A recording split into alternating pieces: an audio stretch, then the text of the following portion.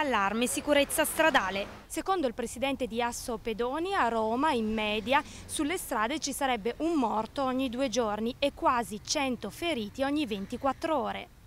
Una vera e propria strage, insomma, soprattutto se si pensa che il 10% dei pedoni che perdono la vita sulle strade sono a Roma.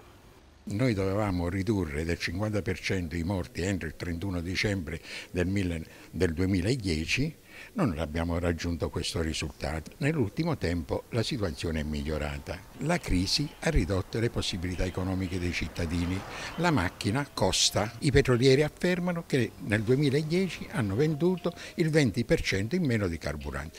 20% in meno di carburanti riduzione de, del traffico, riduzione degli incidenti, riduzione dei morti e riduzione dei feriti.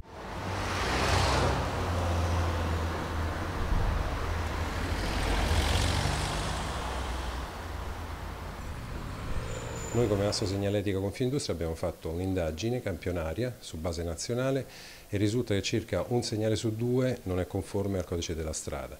Nella fattispecie anche il Comune di Roma, la nostra capitale, presenta delle grosse irregolarità. Qui ad esempio le strisce pedonali quasi non si vedono.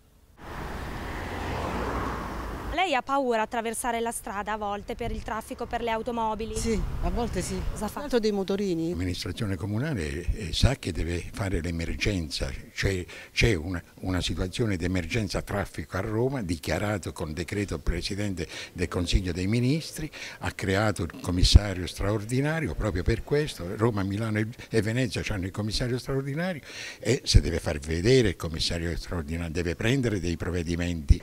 Da qui la proposta proposta del consigliere del PD Dario Nanni di introdurre il reato di omicidio stradale.